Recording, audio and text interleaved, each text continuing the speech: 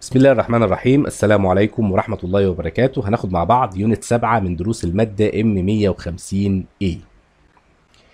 وهي بتتكلم عن introduction to Python. في chart هتلاقيه موجود على مواقع الإنترنت. عامل كده بالظبط. ال Java هنا وال Python هنا. وال Java عمالة تطلع تطلع بالشكل ده على مدار السنين. وال Python كانت أقل منها. أو بدأت أقل منها وفضلت تطلع بالشكل ده لحد ما تحديدا في سنة 2014 أو 2015 بدات بدأ ال chart يتغير شكله وبدأت ال Python تبقى أعلى من ال Java. ده معناه إيه؟ معناه إن مستخدمين ال Python بقوا أكتر ومعناه إن الشركات العالمية اللي في أمريكا وفي بريطانيا وفي الدول المتقدمة الشركات الكبيرة بدأت تستخدم ال Python بدل ال Java. الموضوع ده واقعي وحقيقي وأنا برسم لك ال chart ده عشان أعرفك إن ال Python مش بس مهمه في المنهج بتاعك لأ هي أصبحت مهمة في العالم كله. بدأت شركات كتير جدا إن هي تغير من Java إلى Python. مش معنى كده إن ال Java قليلة لأ في شركات كبيرة جدا في العالم بتستخدم ال Java. بس ال Python دلوقتي بقى يمكن أهم من ال Java. ال chart ده هتلاقيه على مواقع كتير. هنا بيكلمك على الخصائص بتاعه ال Python. بيقول لك إن ال Python source هي open source general purpose language general purpose يعني إيه؟ يعني متعددة الأغراض. يعني مثلا ال PHP وال JavaScript بتستخدم بس في ال web application ولكن ال Python ممكن أعمل منها web application ممكن أعمل منها Windows application تطبيقات تشتغل على جهاز الكمبيوتر العادي ممكن أعمل بيها مختلف أنواع التطبيقات. object oriented object oriented يعني إيه؟ زمان أيام زمان المبرمجين علشان يكتبوا أكواد أو عشان يكتب برنامج كان لازم يكتبه في ملف طويل عريض كده. يفضل يكتب الأكواد كلها فيه. ممكن يكون الملف ده فيه ألف سطر برمجي ما عندوش مشكلة. طب لو طلع في عندك خطأ في جزء من الملف ده معناه إيه؟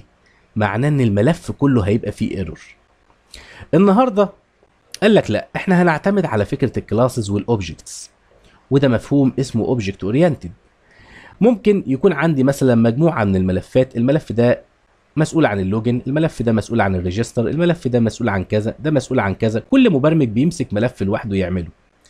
إذا المبرمج الواحد كان لازم يكتب البرنامج كله على بعضه بالشكل ده. إنما النهارده ممكن كل class يمسكه واحد مبرمج ويعمله وفي الآخر بنربط الكلاسات مع بعضها. وبنعمل برنامج واحد. ده باختصار مفهوم ال object oriented ده بالنسبة لل object oriented وبيقول لك كمان هي procedural يعني لغة إجرائية. يعني بتعتمد على فكرة إن في جزء معين من ال code ال code الجزء المعين من الكود ده كله بيعمل حاجة معينة. و functional easy to interface سهل ربطها مع مختلف اللغات. دي مجموعة من لغات البرمجة ال C وال Objective-C وال Java وال Fortran. سهل جدا ربطها مع أي لغة. easy to interface كمان مع السي بلس بلس معظم المبرمجين بيبقى عنده موديولات قديمة من لغات تانية. يعني أنا آه ممكن أعمل برنامج كبير بس في module بدل ما أفضل أكتبه بالكامل بلغة ال Python لا هو موجود عندي بلغة السي بلس بلس هل أرجع أكتبه من أول وجديد ولا أستخدم ال module التاني؟ فهو بيقول لك سهل ربطها مع ال modules ات القديمة. خلاص؟ وبيقول لك إن هي general interactive environment البيئة بتاعتها interactive خلاص؟ هنا بيقول لك إن ال download أنت ممكن تعمل لها download للغة من هنا. documentation موجودة هنا وعندك free book اللي هو ده. رجع يكلمك تاني عن المميزات. بس هنا بيقول لك why use Python ليه بنستخدم ال Python بنستخدمها عشان هي object oriented و object oriented مش بس بتعتمد على فكرة ال classes وال object اللي أنا كلمتك عليها من شوية. ال object oriented كانت ثورة في عالم البرمجيات. بيقول لك إنها فيها حاجات كتير أو إمكانيات كتير زي ال polymorphism هناخدها بعد كده. وحاجة تانية اسمها ال overloading إن أنا ممكن أقدر أعمل أكتر من method بنفس الاسم. و multiple inheritance ال inheritance اللي هي الوراثة المتعددة. الحاجات دي هناخدها قدام شوية. بس عموما هو قصده يقول لك إن هي object oriented بخصائصها كلها. it's free هي مجانية أنت بتنزلها ببلاش. في بعض اللغات مش free زي مثلا السي شارب السي شارب تابعه لشركه مايكروسوفت. أنت لازم بتشتري برنامج Visual Studio ولكن في حالة ال Python أنت بتنزلها مجانا. downloading and installing is free and easy ال source code is easily accessible ال source code بتاعها هو accessible يعني ممكن توصل له. لو عايز تعدل في اللغة نفسها لو عايز تبني لغة جديدة بناء على لغة ال Python ممكن توصل لل source code تعدل فيه وتبني لغة جديدة تماما. عادي. وكمان بيقول لك free does not mean unsupported مش معنى إنها مجانية إن محدش بيدعمها. ده اللي بيخافوا منه لما بتكون لغه مجانية إن مفيش حد بيدعمها لأن خلاص أنا عملت برنامج أو عملت لغة اللغة دي free مش هفضل كل شوية أقدم لها دعم لأن أنا أساسا مقدمها مجانا. بس في ناس طلعوا اللي هم ال community بتاع ال Python قال لك لا إحنا هنعمل لها تحديثات وهنعمل لها تطورات وهنعمل community كبير اونلاين موجود دلوقتي. إيه، ممكن إن هو يساعد الناس أو يعمل عمليات تطوير للغة ال Python. it's portable portable يعني ممكن إن أنا مش بس بتشتغل على نظام تشغيل واحد لأ ممكن تشتغل على أكتر من نظام تشغيل بنفس الطريقة. يعني زمان كانت السي شارب كانت بتشتغل على one platform اللي هو ال Windows النهارده حدثوها شوية. كمان بيقول لك ال Python ممكن تشتغل على Windows ممكن تشتغل على Mac ممكن تشتغل على Linux هي portable ممكن نقلها. runs virtually every major platform used today. كل أنواع أنظمة التشغيل platform قصده هنا نظام تشغيل. كل الأنواع اللي موجودة النهارده بيشتغل عليها ال Python.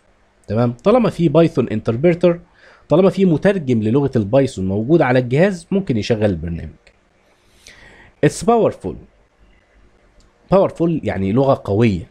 ودي معناها شوية حاجات زي مثلا إن هي dynamic typing يعني الأنواع اللي موجودة في لغة اللي اللي موجودة في لغة ال Python هي dynamic زمان في ال Java عشان أعرف متغير رقمي لازم أقول له int a بيساوي خمسة.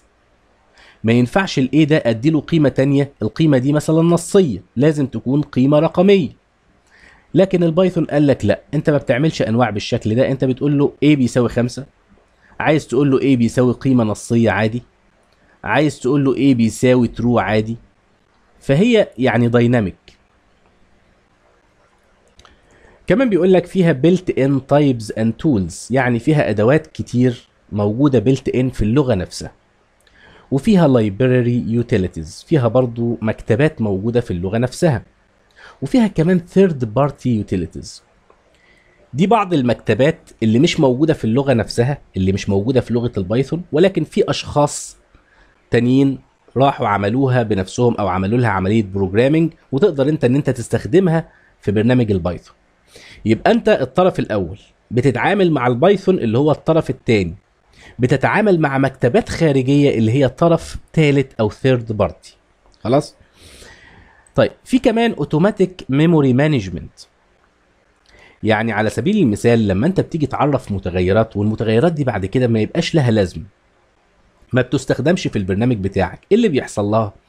بتفضل تتراكم في الذاكرة بتاعت جهاز الكمبيوتر تتراكم لحد ما يبقى البرنامج بتاعك تقيل. فالمفروض إن بيجي شخص كده. هو مش شخص هو أداة بس اسمها garbage collector يعني عامل النظافة. بيجي يعمل إيه؟ اوتوماتيك اوتوماتيك يعني بشكل اوتوماتيك بيروح ينظف لك ال- ال- الحاجات اللي شغلة الذاكرة وإحنا ما بنستخدمهاش. ده اسمه garbage collector هناخده قدام شوية. عشان كده أنت كمان عندك automatic memory management ال Python عايزة تقول لك إن إحنا عندنا نفس الحاجات اللي بتعملها ال Java. ال Java عندها garbage collector وإحنا كمان عندنا. ال Java portable وإحنا كمان portable ال Java free وإحنا كمان free وعندنا حاجات تانية إضافية يمكن مش موجودة عند الجافا ولكن موجودة عندنا. تمام؟ طيب تعالوا بقى أول حاجة نعملها إن إحنا نعمل install للبرنامج اللي إحنا هنشتغل عليه ونشغل عليه البايثون. أول حاجة هتدخل على جوجل. أنا عندي ممكن أكتب هنا مباشرة وهو يبحث في جوجل فأنا مش هبحث في خانة البحث هبحث هنا. لو كتبت بس بايثون أو بايثون dot org ممكن تكتب بس بايثون أو install بايثون.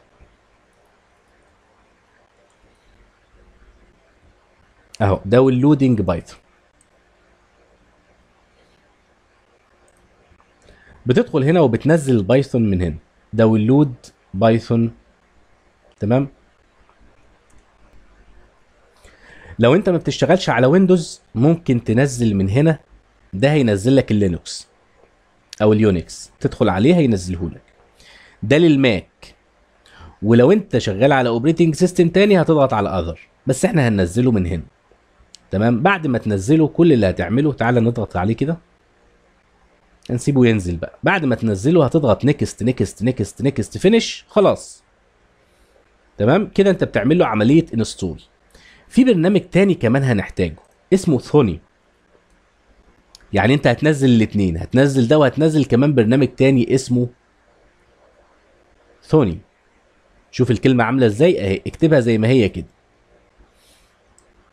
هنحتاجه وهو أسهل من البرنامج اللي موجود عندنا في المنهج فهو مهم جدا لأنه for beginners هيعلمك البايثون بسهولة. خلاص؟ اضغط عليه. مش فارقة بقى نتعلم على إيه بالظبط. أنا لما ضغطت عليه ادالي ده. قال لك برضو في إصدار للويندوز وفي للماك وفي لللينكس. فأنت هتضغط الويندوز.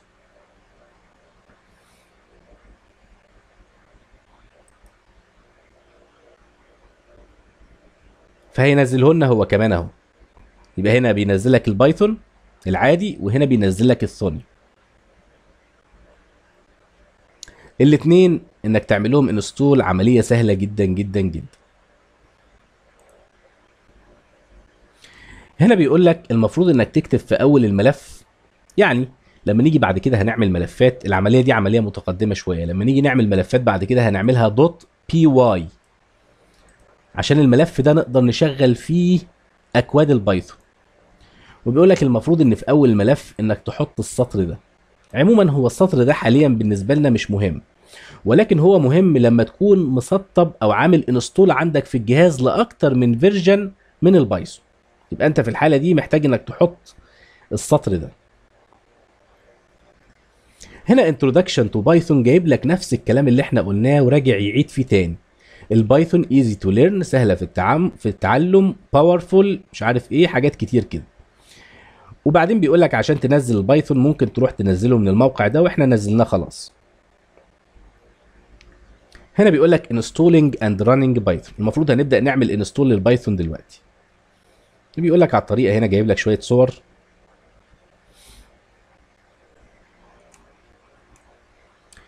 هنا جاي بيقول لك إنه designed to be portable and extensible portable يعني إيه؟ يعني ممكن يشتغل على أكتر من platform أو أكتر من نظام تشغيل.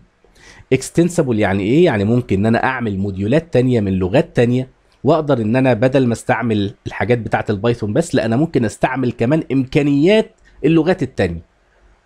تمام؟ Originally implemented on Unix. يعني تم برمجته من الأول على أنظمة يونكس وهنا بيقول لك programs often can be ported from one operating system to another without any change يعني ممكن ان انت البرنامج اللي عملته على نظام ويندوز ممكن يشتغل على لينكس ممكن يشتغل على ماك من غير اي تغيير فيه syntax and design promote good programming practices and surprisingly rapid development times يعني كمان بيسرع وقت الديفلوبمنت أو وقت التشغيل اللي هو وقت البرمجة يعني. Simple enough to be used by beginning programmers. هو سهل جدا أو من السهولة اللي يخلي المبرمجين المبتدئين يشتغلوا عليه. Powerful برغم إن هو simple أو بسيط ولكن هو powerful. هو لغة قوية to attract professionals تخلي الناس اللي هم الأقوياء في البرمجة ينجذبوا للغة. طيب تعالى بقى نبدأ نعمل install لإيه؟ أهو الاثنين نزلوا عندنا البايثون نزل عندنا فأنت بتضغط عليه. بيفتح عندك. زي ما قلت لك كل الموضوع إن أنت هتعمل له next next طبعا أنا المشكلة إن أنا عامل له install عندي في الجهاز. فعشان أنا عامل له install فبيقول لي هنا upgrade أنا مش محتاج أعمل له upgrade أو تعمل له customize installation وبعدين زي ما قلت لك تعمل next next next وفي الآخر finish خلاص. ال Thonny أنا مش عامل له install فتعالوا نعمل install مع بعض. يمكن ال Thonny فيه شوية اختيارات أكتر من البايثون. البايثون أنت مش هتحتاج إن أنت تعمل حاجة زيادة. في ال Thonny لازم تعلم على كل الخيارات. تعمل next و install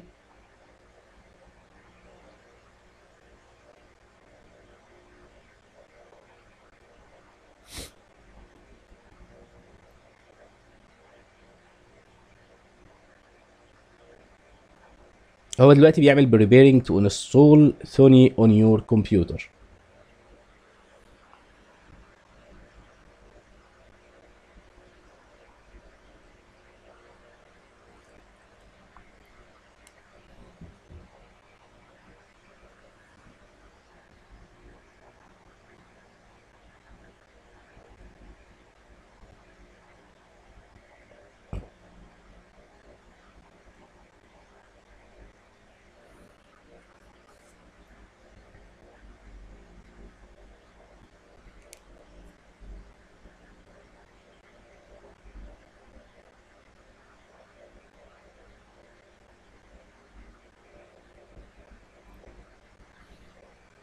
أهو بنعمل فينش هو المفروض إن يعني بيكون في خيارات بس هو ما جابلناش أي خيارات. برنامج سهل جدا جدا جدا وبيخليك تقدر إن أنت تكتشف الأخطاء البرمجية اللي موجودة. شوف لما نيجي نفتحه.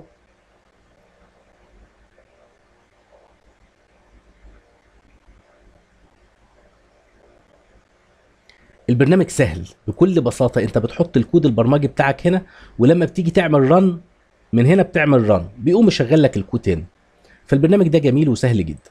خلاص؟ طيب. عموما إحنا هنشتغل مبدئيا على إيه؟ هنشتغل على حاجة اسمها IDLE ال IDLE دي هتجيبها منين؟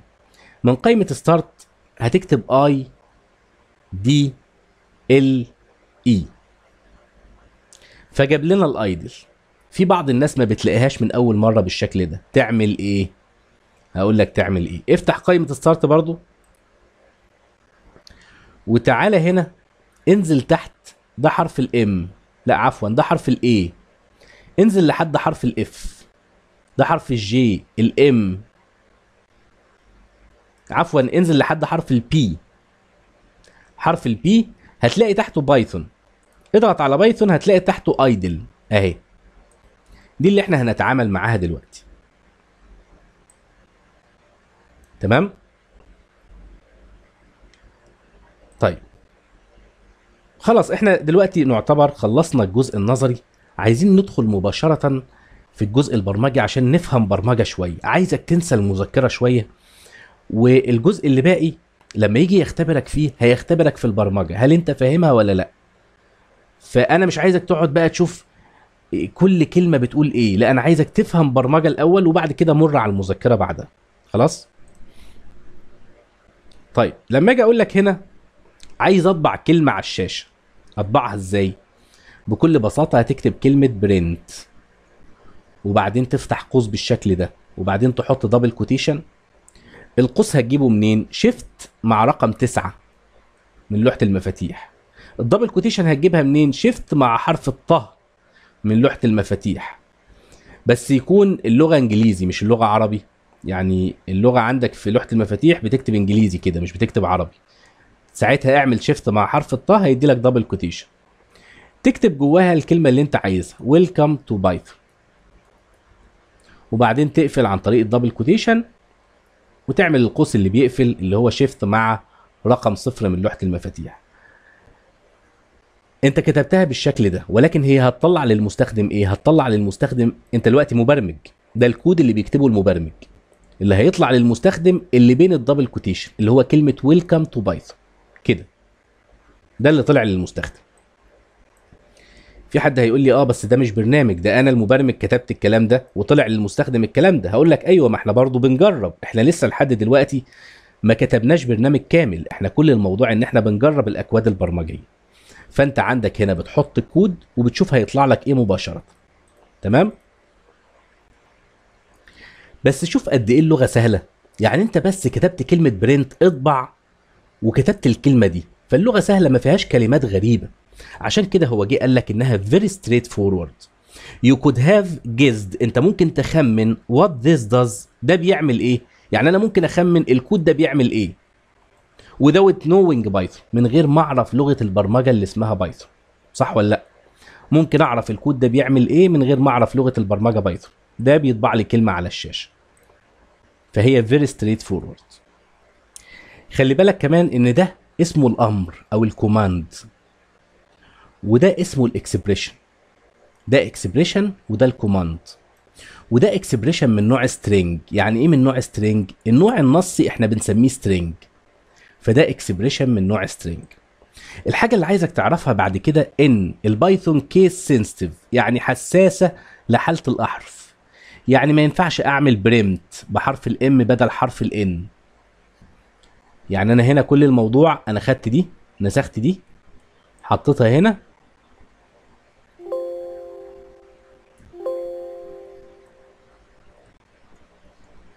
بس خليني أحط بدل حرف ال N حرف ال M إيه اللي هيحصل؟ ادالك syntax error أو ادالك error يعني. اهو. بيقول لك name primt is not defined هو مش عارف يعني إيه الاسم ده. وكمان لو جيت هنا ناخده. هنخليه print بال N وكل حاجة. ولكن هنخلي ال P بدل ما هي P small هنخليها P capital برضو جاب لك نفس ال error قال لك أنا مش عارف يعني إيه ده. فلازم تتكتب بنفس الطريقة. لازم تبقى P small بنفس الطريقة كده عشان تقدر إن هي تنفذ لك الأمر. بشكل سليم ويكون ده حرف N مش M أهو طبع لك كلمة welcome to Python فهو جاي هنا. طبعا زي ما قلت لك أهو print game over very straight forward وهنا طبعا ما ينفعش إنك تخلي الحرف P capital وما ينفعش إنك تخلي كلمة print كلها capital لازم تكون بالشكل ده. كلمة print لازم تكون كلها small تمام؟ عندك زي ما قلت لك ال print ده اسمه command و game over دي اسمها expression هو كاتبها لك هنا كلمة game over اللي هتطبع يعني. تمام؟ واسمه string expression هنا بيقول لك إن أنت ممكن يجي لك syntax error. تمام؟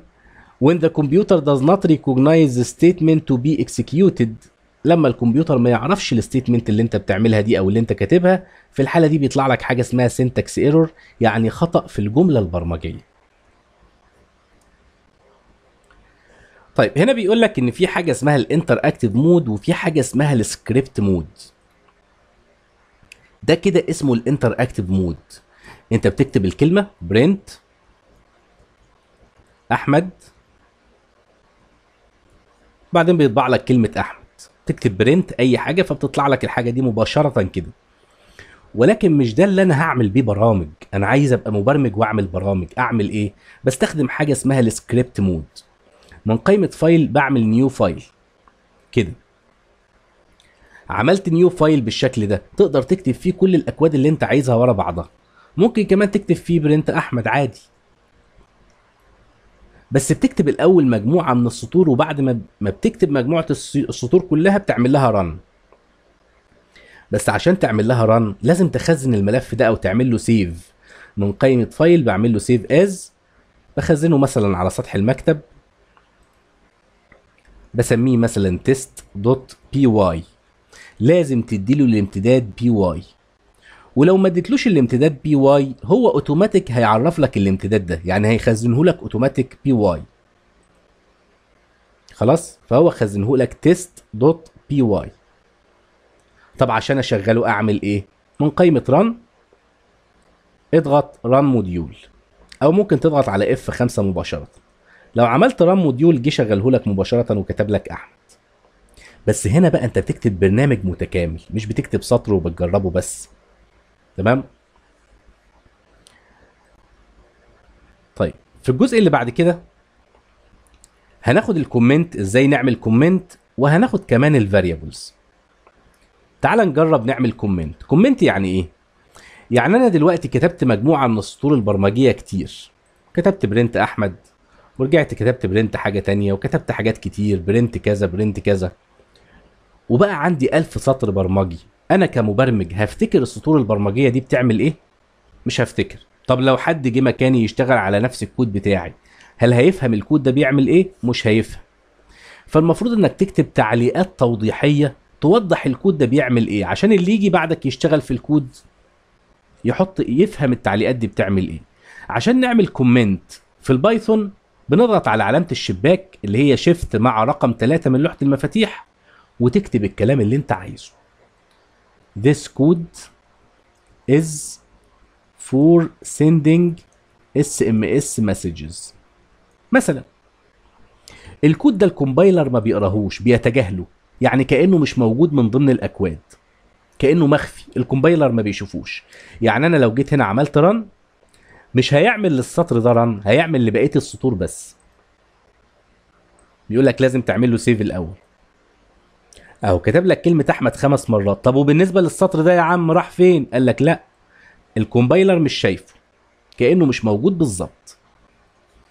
لما أنا اشتغلت في شركة برمجة كبيرة في أمريكا اكتشفت إن المبرمجين بيحاولوا بقدر الإمكان ما يكتبوش ال comment ده أو إن هو يكتبه بطريقة غلط. ليه؟ عشان المبرمج اللي يجي بعده ما يفهمش أي حاجة من الكود بتاعه. وده ببساطة عشان ما يمشيش من الشغل أو ما يمشيهوش بسهولة من الشركة لأن ببساطة الأكواد بتاعته هو بس اللي عارفها بس المهم إن ال comment وظيفته إيه؟ وظيفته إن أنا يعني بحاول أوضح الكود ده بيعمل إيه. ومهم جدا لما تيجي تعمل واجب إنك تحط comment عشان ال comment ده good programming style يعني style كويس في البرمجة. طيب.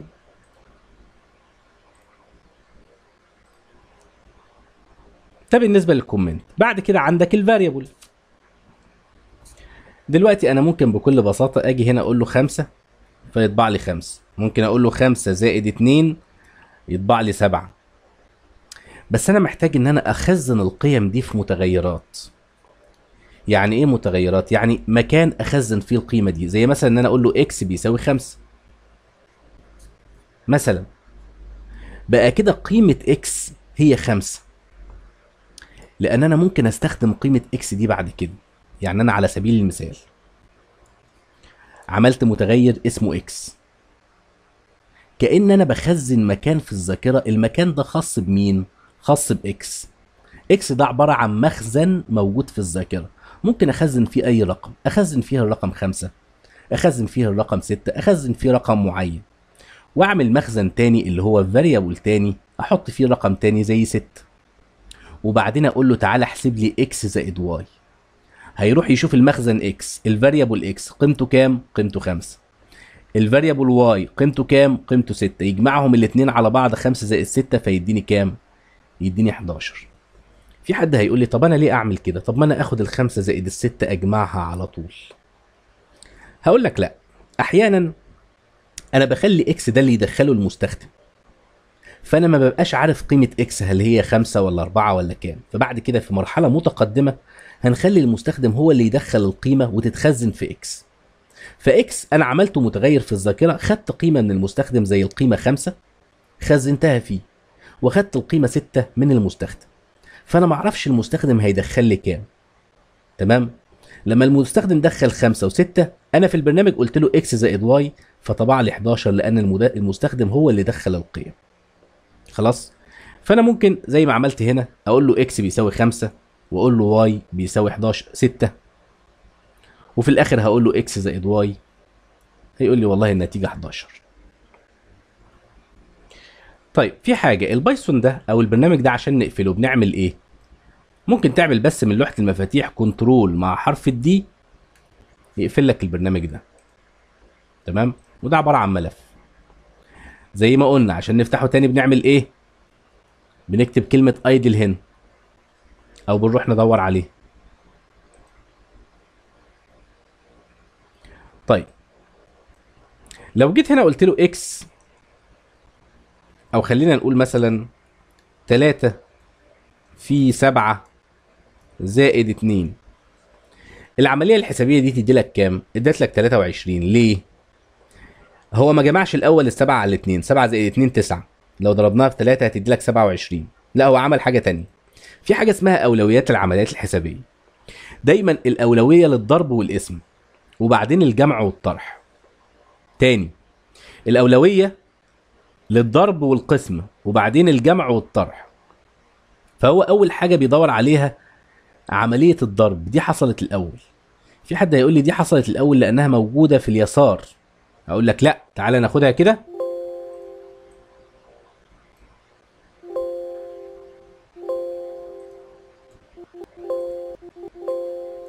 نقول له اتنين. آه عفوا.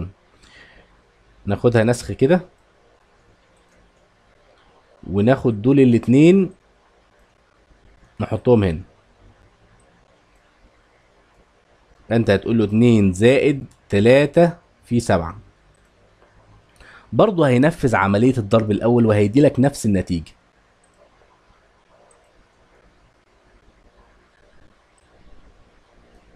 اتنين زائد تلاتة في سبعة.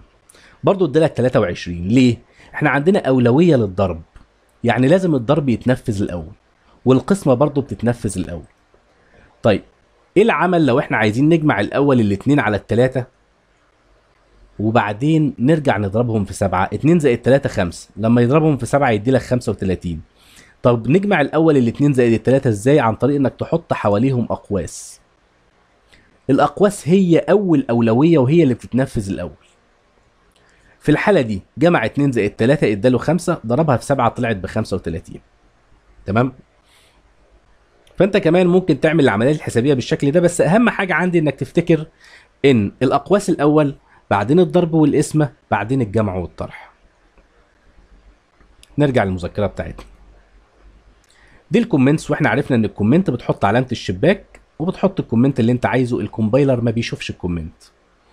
عندك بعد كده ال variables اللي هي المتغيرات. اللي هي متغيرات إحنا بنكتب أساميها بحيث إنها تتحفظ عندي ويتحفظ القيم اللي جواها. A variable is a name هو عبارة عن اسم that refers to a value بيشير إلى قيمة معينة. يعني على سبيل المثال لما اكتب x بيساوي 5 هو اسم بيشير إلى قيمة معينة. مش لازم x. ممكن أكتب أي متغير number بيساوي 6 اسم بيشير إلى قيمة معينة. Variable let us store and reuse. بيسمح لنا إن إحنا نخزن ونرجع نعيد استعمال ال values أنا دلوقتي أقدر أعيد استخدام ال value اللي هي 6 عن طريق المتغير اللي اسمه number صح؟ In several places يعني في أماكن مختلفة. ولكن عشان نعمل كده إحنا محتاجين إن إحنا ن define ال variable نعرف ال variable بالشكل ده.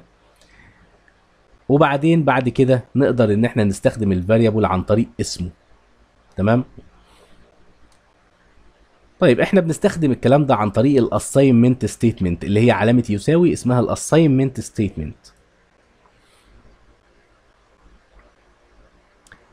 طيب زي ما قلت لك إحنا طبعا ممكن نستخدم العلامات المختلفة اللي هي ال operators زي الجمع والطرح والضرب والقسمة. ممكن إن إحنا نستخدمهم وكمان ممكن نستخدم ال parentheses اللي هي الأقواس.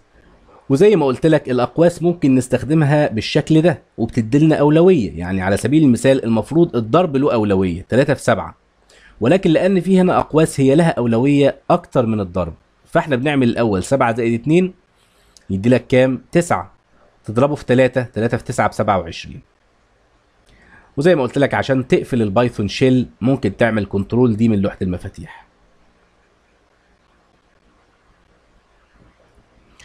طيب عندك هنا علامة الزائد دي بنستخدمها كحاجة اسمها concatenation concatenation يعني علشان نجمع اتنين string مع بعض ممكن نستخدم العلامة دي. يعني إيه؟ يعني ممكن تيجي هنا string يعني إيه؟ أي حاجة بين double quotation كده أحمد ده اسمه string. وعندك علي ده اسمه string. تمام؟ فأنا عشان أجمعهم الاتنين طبعا أجمعهم يعني إيه؟ في حالة ال string أو في حالة النص لما باجي أجمعهم يعني بلزقهم في بعض. فبتستخدم علامة الزائد. لو جيت تضغط enter جاب لك إيه؟ أحمد علي وحطها لك بين single quotes يعني قال لك single quotes زي double quotation مش هتفرق. هنا قال لك أحمد علي. طبعا ممكن نخليهم بين single quotes كده. حرف الطه بس من غير shift ولكن ال double quotation shift مع حرف الطه. في الحالتين بيعمل لي string أهو جمعهم الاثنين مع بعض ادالك أحمد علي. فعلامة الزائد مش لازم بس تجمع رقمين سبعة وثلاثة يديلك عشرة لا ممكن تجمع two string بحيث إن هو يلزقهم مع بعض. عشان كده سماها لك concatenation علامة ال modulus برضو دي ممكن نستخدمها في عملية ال modulus. تمام؟ ممكن نستخدمها في عملية ال modulus اللي هي عملية باقي القسمة. يعني لما أقول لك 8 على 8 كام؟ واحد. طب 9 على 8 9 على 8 أو 10 على 8 10 على 8 ممكن برضو تديلنا واحد ولكن هيتبقى اتنين. الاتنين ده يعتبر اسمه باقي القسمة. ده اللي إحنا بنستخدمه في علاقة ال modulus أو ال remainder. ولكن بيقول لك كمان هي لها استخدام تاني في عملية ال string formatting بس ده هناخده قدام شوية لسه بدري عليه. بيقول لك كمان عندنا حاجة اسمها logical operators and و or و not دي كده اسمها logical operators ودي كمان هناخدها قدام شوية. هنا بيقول لك عشان تعمل print بتستخدم الأمر print. وهنا بيقول لك variable types don't need to be declared. إحنا مش محتاجين إن إحنا نعمل عملية declaration لوحدها. يعني إيه؟ يعني دايما كان في لغة ال Java إحنا عشان نعرف المتغير a كان لازم نعرفه الأول نقول له int a وده كان بيتعرف لوحده وبعد كده a بيساوي خمسة. لا إحنا ما بنعملش كده. إحنا بنقوم قايلين a بيساوي خمسة على طول. بنع... بنعرفه بنعمل له عملية declaration وبعد كده بنعمل له initialization الاثنين لازم يبقوا في جملة واحدة بالشكل ده. طيب. وطبعا بيقول لك Python figures out بيعرف لوحده أنواع ال variable من نفسه. يعني أنا قلت له هنا a بيساوي خمسة. هو عرف مباشرة إن ال a دي مسنود ليها قيمة رقمية لوحده. لكن في ال Java كان لازم أقول له إن a من النوع integer يعني هي قيمة رقمية. طب ما هو عارف طب ما هو ال a أصلا القيمة بتاعتها خمسة مش لازم أقول له إن هو من نوع رقمي هو فهم لوحده. لأن هي قيمة رقمية. لو قلت له a بيساوي أحمد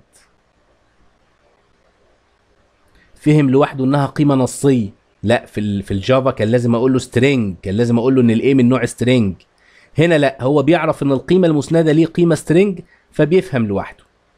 لو قلت له a بيساوي 3 و14 من 100 دي قيمة double double يعني إيه؟ double يعني فيها قيمة عشرية.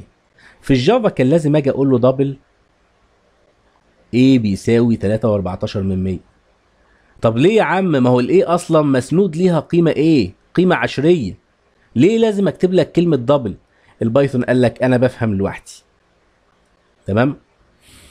في برضو حاجة اسمها boolean ال boolean دي بتاخد true أو false لما أجي أقول لك a بيساوي true أو a بيساوي false في ال Java كان لازم أكتب هنا كلمة boolean هنا قال لك لا أنا بفهم لوحدي. طالما دي true أو false أنا بفهم إن هي قيمة إيه قيمة boolean فال Python figures out the variable types هو بيعرف لوحده الأنواع كده من نفسه. عشان كده جاي جايب لك الأنواع هنا بقى. جايب لك أول نوع ال integer أهو. ال integer بكل بساطة ممكن أجي أقول له z بيساوي خمسة. خلاص هو عرف لوحده لأن العدد المسند ليه عدد صحيح فهم إن z دي من نوع integer. طب لو جينا كتبنا خمسة على اتنين وخزناها في z إيه اللي هيحصل؟ خمسة على اتنين يديلك اتنين ونص. هيخزنها في z يبقى هيخزن في z القيمة اتنين ونص. ف z ما بقتش integer بقت دبل خلاص؟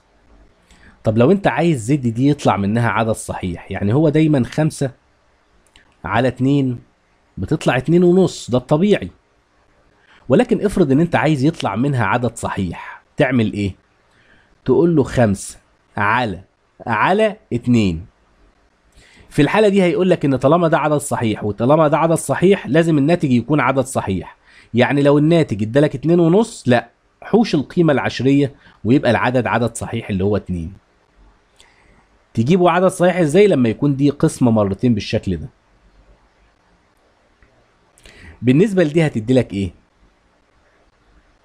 طالما هو قسمة فيها علامتين بالشكل ده لازم الناتج يطلع عدد صحيح. فبرضه خمسة على اتنين هيدي لك اتنين. بس هيديها لك كده.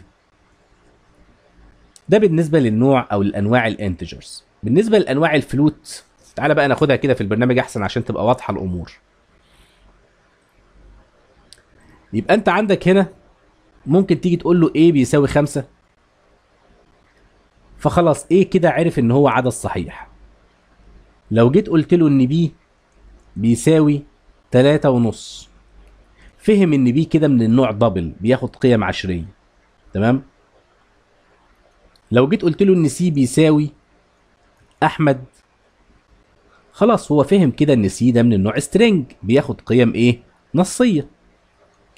طب افرض إن أنا جيت كتبت لك إنه d بيساوي أحمد حامد يونس. يعني أنا عايز إن هو يخزن أحمد بس حامد دي تكون بين double quotation بالشكل ده.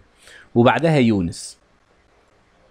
اداني syntax error ليه syntax error لأن هو كده المفروض إن هو بادئ ب double quotation ومنتهي ب double quotation بس في في النص اتنين double quotation لخبطوه.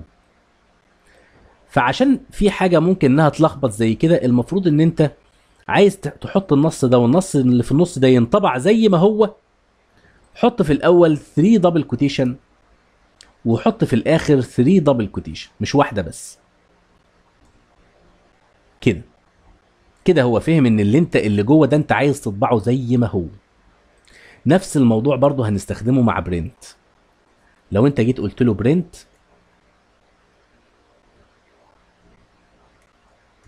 أهو. هيعمل لك نفس الموضوع.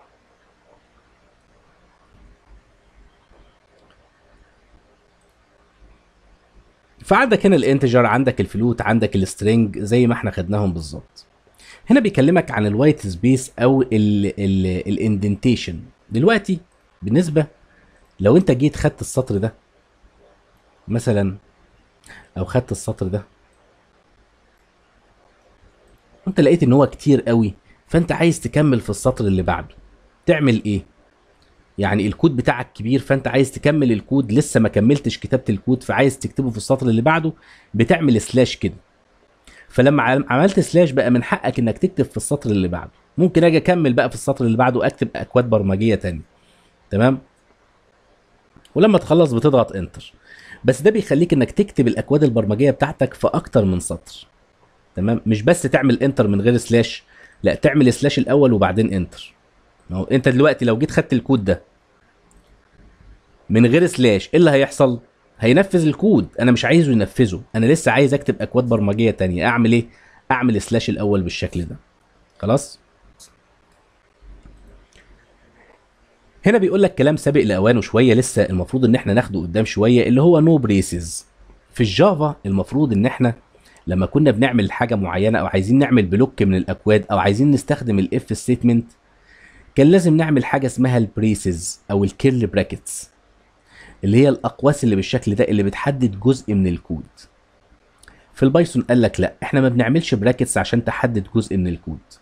حتى في ال if statement لو عايز تحدد جزء من الكود بتخلي الكود بدل ما يبدأ مع if هنا في السطر اللي بعده بتخليه يبدأ قدام شوية. ما بتعملش curly ولا حاجة. ولكن الكود بتاعك نفسه اللي جوه جملة if بيبدأ قدام شوية مش على نفس محاذاة if الكلام ده هناخده قدام شوية. هنا راجع تاني يكلمك عن ال comments وبيقول لك إن ال comment أي حاجة بتتكتب بعد علامة الشباك دي بيحصل لها ignored يعني بيتم تجاهلها. هي حاجة ليك أنت بس كمبرمج. وممكن إن إحنا نعمل حاجة اسمها ال documentation string حاجة جميلة قوي. انت لما تيجي هنا البرنامج اهو. وعايزين نكتب برنامج كبير بقى. نعمل new file وهتكتب هنا برنامج كبير. فالمفروض ان انت في الأول تعمل علامة الشباك. تيجي هنا تعمل علامة الشباك وتيجي هنا علامة الشباك. وفي الثلاث سطور أو في الأربع سطور اللي في الأول دول تكتب البرنامج بتاعك بيتكلم عن إيه. والله أنا البرنامج بتاعي هيتكلم عن كذا كذا كذا وبيعمل كذا كذا كذا وفايدته كذا كذا كذا. دي حاجة اسمها دوكيومنتيشن بتعملها ليك عشان بعد كده اللي يجي يدخل على الملف يعرف الملف ده بيعمل إيه.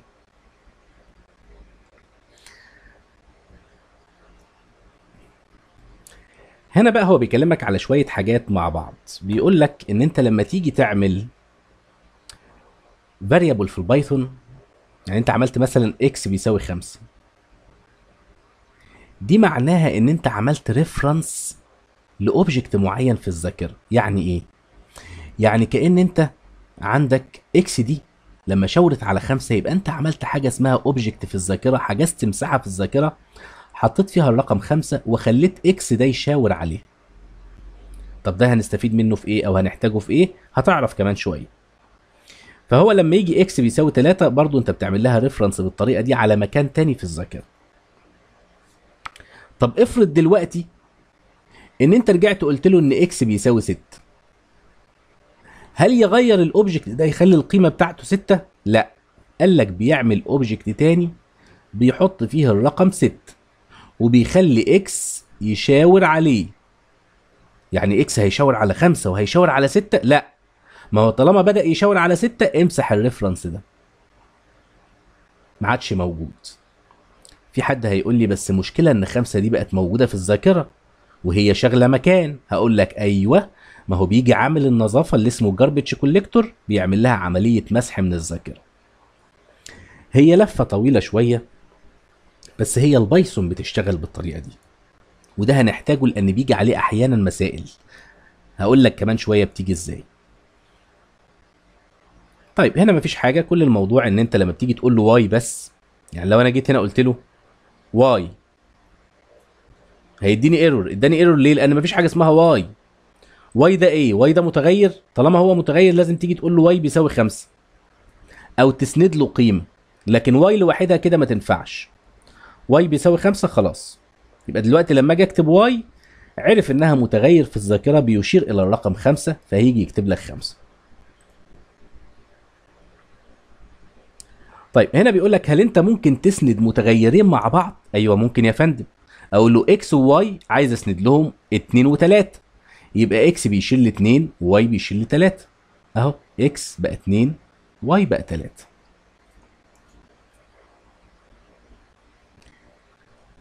طيب هنا بيقول لك المتغيرات ودي خلي بالك ممكن يجي عليها سؤال. السؤال هيجي لك إزاي؟ أنا دلوقتي عملت متغير اسمه a بيساوي 5 و number بيساوي 6 ده ينفع اسم متغير؟ آه ينفع. ده ينفع اسم متغير؟ آه ينفع. طب إيه هي ال rule اللي أنا ممكن أمشي عليها في تسمية المتغيرات؟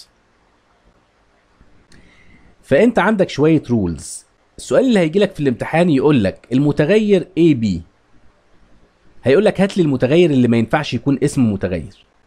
وهيجيب لك underscore a وهيجيب لك a a وهيجيب لك كلمة and ويقول لك إيه في دول اللي ما ينفعش يكون اسم متغير. يبقى إحنا لازم يكون عندنا رولز أول حاجة ما ينفعش يبدأ برقم. ما ينفعش يبدأ برقم. دي واحد. اتنين they can contain letters. ممكن يحتوي على حروف أو numbers أو underscores. يبقى الاسم ممكن يكون كده. ممكن يبدأ ب underscore ما فيهاش حاجة. ممكن يكون فيه رقم بس ما يبدأش برقم. وما ينفعش إن هو يكون من الكلمات المحجوزة دي. دي اسمها كلمات محجوزة.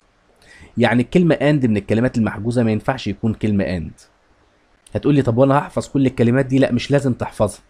بس غالبا لو جاب لك كلمة هتبقى كلمة شائعة. كلمة and كلمة شائعة. كلمة class كلمة شائعة.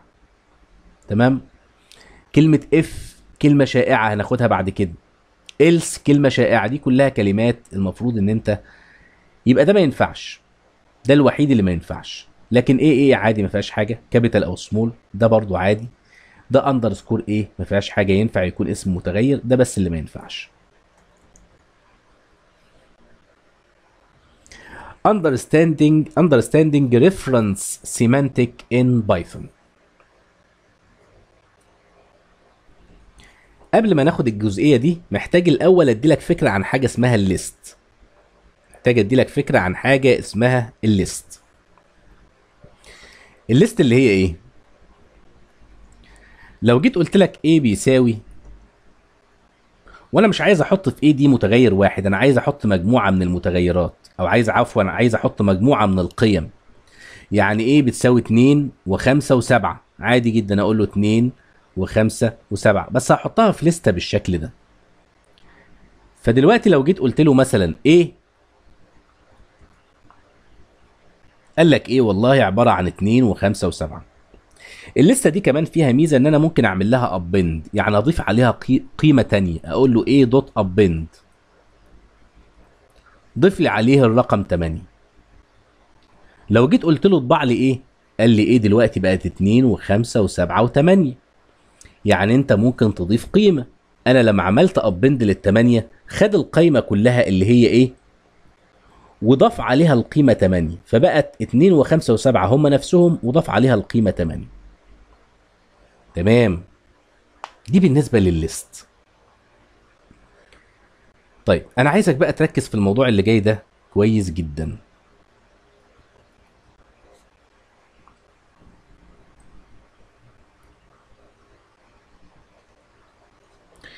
الموضوع ده مهم جدا وهيفيدك لو جالك مسألة تلخبط في الاختبار. الأنواع اللي هي string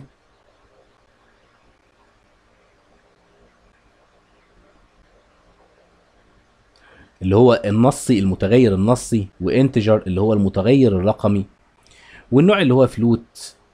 الأنواع دي بيقول لك إنها اسمها immutable أو هي من النوع immutable. يعني إيه immutable يعني بمجرد ما بتتعرف ما ينفعش إن أنا أغير القيمة بتاعتها. يعني إيه برضو؟ يعني أنا لو جيت هنا عملت X بيساوي خمسة. إيه اللي بيحصل في الذاكرة؟ اللي بيحصل إن X بيشير إلى القيمة زي ما قلت لك بيعمل لها reference إلى القيمة خمسة. إيه ده؟ طب أنا ما أعرفش أغيرها إزاي؟ يعني أنا ما ينفعش أجي أقول له X بيساوي 4 لا ممكن تقول له X بيساوي 4 بس في الحالة دي زي ما قلت لك بيغير ال reference بيخليه يروح على 4 وبيمسح القديم. بس خلي بالك إنه في الحالة دي ما غيرش القيمة بتاعتها لا ده هو عمل object جديد في الذاكرة. وعشان كده الأنواع الثلاثه دول بنسميهم immutable.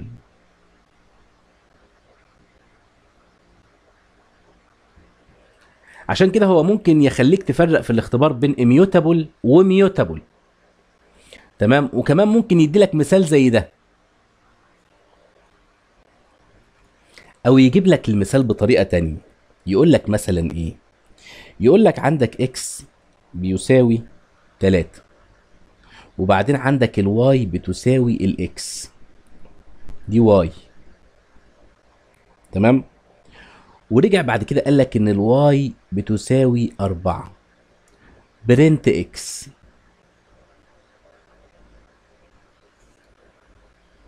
هو ال X قيمتها بكام؟ ال X قيمتها بتلاتة. فأنت بتعمل متغير X أنت اعمله مع نفسك كده. واسند له القيمة كام؟ اسند له القيمة 3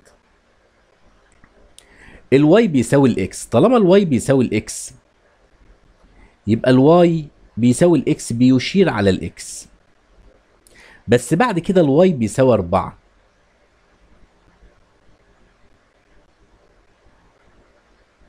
يبقى في الحالة دي ال Y ما عادش بيشاور على X صح؟ print X X زي ما هي ما اتغيرتش هي بتلاتة. في حد ما هيقول لي طب ما هو بالعقل كده؟ أنا لو جيت بصيت على الكود هلاقي إن X بتساوي 3 وبعد كده ال Y بتساوي X يعني ال Y بتساوي 3 وبعد كده ال Y اتغيرت بقت بأربعة. print X أكيد هيطبع 3 لأن 3 ال X قيمتها ما اتغيرتش. هقول لك في الحالة دي هي ممكن إنها تنفع أيوه. ولكن في حاجة تانية هاخدها بقى اللي هي الأنواع ال mutable. هتعرف الفرق دلوقتي. هناخد دلوقتي ال mutable اللي هي الأنواع زي ال list.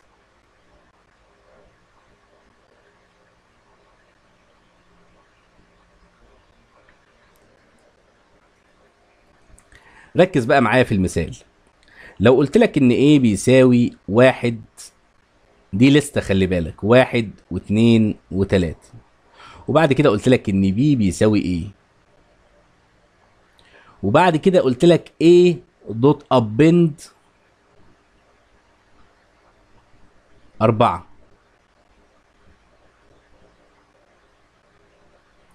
وجيت قلت لك برنت بي تفتكر بيها تطبع إيه؟ أنت هتقول لي والله إيه هنا بتساوي واحد واثنين وتلاتة. و B بتساوي A؟ يعني B دلوقتي بقت واحد واثنين وتلاتة. دي A dot append يعني إحنا غيرنا على A بس ما غيرناش على B يبقى لما نيجي نطبع B هتبقى هي نفس القيمة اللي هي واحد واثنين وتلاتة. هقول لك غلط. لما تيجي تطبع B هيدي لك واحد واثنين وتلاتة وأربعة. إيه اللي حصل بالظبط؟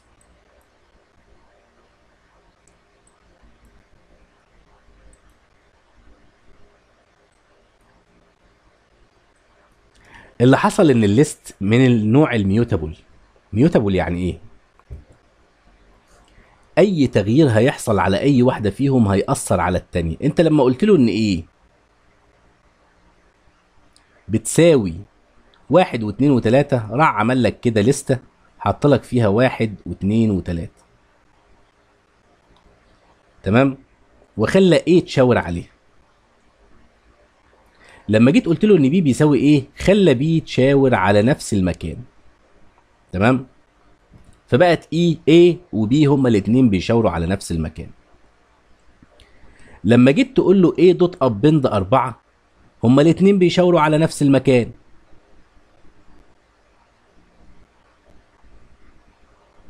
يبقى أنت لما جيت هنا قلت له إن A؟ لو قلت له إن A dot append أربعة يبقى أنت بتضيف العنصر أربعة للقايمة نفسها. القايمة اللي A و B هما الاتنين بيشاوروا عليها. يبقى لما تيجي تطبع B هيطبع لك برضو الأربعة. لما تيجي تطبع A هيطبع لك برضو الأربعة. إذا أي تعديل بيحصل على واحد فيهم هو بيحصل على الاتنين. الكلام ده بيكون في النوع ال mutable بس زي ال list. ولكن ما بيحصلش في النوع ال immutable. بيحصل في النوع ال mutable وما بيحصلش في النوع ال mutable. يعني في في ال immutable عفوا. يعني بوضوح. هنا immutable. immutable ما فيش واحد منهم بيأثر على التاني. كل واحد يعتبر منفرد لوحده. إنما هنا النوع ده mutable اللي هو زي ال list. النوع ده أي واحد من الاتنين بيأثر على التاني. أي تغيير يحصل هنا بيأثر على ده وأي تغيير يحصل هنا بيأثر على ده. خلاص؟ فهو جايب لك هنا بيقول لك إيه؟ بيقول لك إن إيه؟ دي list ة فيها واحد واثنين وثلاثة وبعدين قلنا إن B بتساوي نفس ال list ف B كمان بقت واحد واثنين وثلاثة لما نقول له A dot append أربعة يبقى إحنا غيرنا إيه خليناها تضيف عنصر كمان اللي هو أربعة. يبقى دلوقتي A ما عادتش بس واحد واثنين وثلاثة لا ده إحنا ضفنا عليها كمان عنصر بقت أربعة. فقال لك لو جيت طبعت B هيطبع لك إيه؟ هو استغرب بقى هنا ان B طلع له واحد واثنين وثلاثة واربعة. إحنا عارفين لأن إحنا خدنا الكلام ده عارفين ان ال A وال B لانهم من النوع mutable فأي تأثير بيحصل على واحدة هو بيحصل على التانية. بس هو هنا بيتساءل بيقول لك ليه؟ يعني أنا لما ضفت ضفت على A بس العنصر الرابع. لكن لما جيت طبعت B طبع لي ده ليه؟ يعني طبع لي واحد اتنين تلاتة أربعة ليه؟ فهو طبعا لأنه من نوع mutable والنوع mutable الاتنين بيأثروا على بعض. السؤال اللي ممكن يجي لك في الامتحان إنه ممكن يجيب لك example زي ده ويقول لك إيه هي النتيجه لما تيجي تطبع B إيه هي النتيجه طبعا لأنها list ة وال list ة من النوع mutable يبقى هتطبع لك واحد اتنين تلاتة أربعة. فهنا جاي بقى جايب لك الموضوع من أوله. بيقول لك أنا هفهمك ليه. فجاب لك الأنواع العادية. قال لك إن X بيساوي 3 و X بيساوي 3 دي معناها إن إحنا بنسند X ل 3 بالشكل ده. ومدي لك هنا مثال على بيقول لك بقى إن في حاجة اسمها immutable يعني جايب لك الموضوع من أوله خالص. بيقول لك في حاجة اسمها immutable و immutable دي اللي هي الأنواع العادية اللي هي زي integer و float و string و tuple بيقول لك الأنواع دي immutable تمام؟ وعايز يفهمك بعد كده يعني إيه immutable فبدأ إن هو يفهمك واحدة واحدة. قال لك إن X بيساوي 3 وبعد كده إحنا زودنا على X واحد. فلما زودنا على X واحد بقت 4 فطبعنا هنا 4 فجاي بيفهمك الخطوات بيقول لك إن X بتشاور على 3 طب لما زودنا عليها واحد إيه اللي حصل؟ خلي بالك.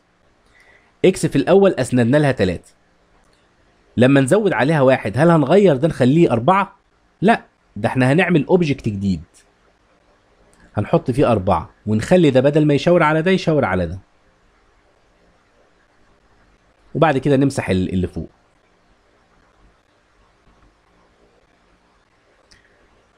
طيب. ركز معايا بقى في ال example ده وتعالى نحله. X هنا بتساوي 3 X بتساوي 3 Y بيساوي X بقت Y بتساوي 3 Y بعد كده بتساوي 4 يعني Y اتغيرت. لما تيجي تطبع X هيطبع لك إيه لأن ده immutable immutable. يبقى في الحالة دي الاتنين ما لهمش دعوة ببعض. كل واحد بيتغير مع نفسه. يبقى أنت هنا في الأول قلت إن X بتساوي 3 وبعد كده Y بيساوي X مش معنى كده إنك ربطتهم ببعض. لا. كل واحد لوحده. لو أنت غيرت Y ما يأثرش على X ليه؟ لأنهم من النوع immutable. ده اللي يهمني إنك تعرفه. فلما تطبع X طبعا هيدي لك 3 هو بيفهمك بقى الخطوات حصلت إزاي. الكلام ده إحنا خدناه بالتفصيل يعني.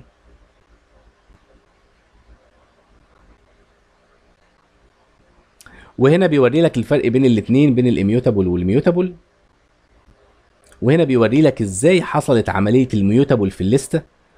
وليه الاثنين مرت... لما ارتبطوا ببعض لما انت قلت B بيساوي A دي معناها طالما إن النوع ده mutable طالما قلت له B بيساوي A يبقى انت ربطتهم مع بعض. الاثنين حصل بينهم ترابط. أي تغيير في الأولانية هيأثر على الثانية وأي تغيير في الثانية هيأثر على على الأولانية. يبقى انت لما قلت له A dot append 4 يبقى انت عملت append للاثنين لأن التغيير في واحدة هيأثر على الثانية ليه؟ لأنهم من النوع mutable